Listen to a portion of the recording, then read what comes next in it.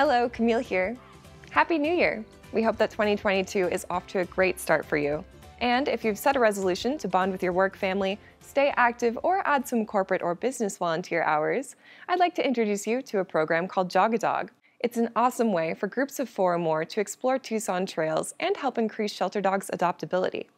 I'll tell you everything you need to know about this great new program right after we meet this week's featured pets. First up, meet Rosalie.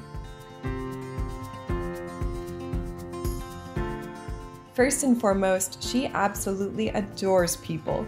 You can often find Rosalie cuddling up with volunteers and staff and soliciting pets while giving plenty of kisses.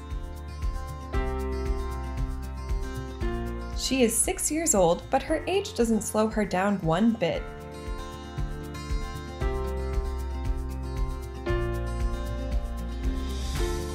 Rosalie is just as playful as she is affectionate. When she isn't giving plenty of snuggles, you can find her going after some of her favorite toys. So, is there room for this cutie pie in your home?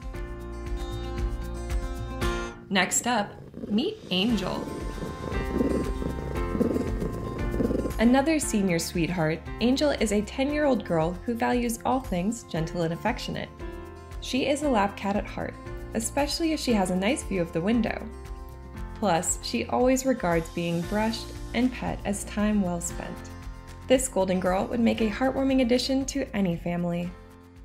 If you're interested in adopting one of this week's featured pets, call an adoptions counselor at 520 327 6088 extension 173. Each and every dog that comes to HSSA is evaluated and put into our shelter training program. This helps to give them the enrichment that they need and increase their adoption rates. To make our training successful, we pair structured training with real life practice. This is where Jog a Dog comes in. Not only will your group have a blast staying active and spending the day with adorable adoptable dogs, but it also gives our shelter pups an opportunity to readjust to life outside of the shelter. If you're interested in participating, work with our canine programs and behavior supervisor to schedule a date and time. Please do so at least one week in advance by visiting hssaz.org backslash jog. We'll see you on the trails. Thank you for watching. You can catch all things HSSA by following our social media pages. To view a full list of currently adoptable pets, visit hssaz.org backslash adoptions or visit our main campus at 635 West Roger Road.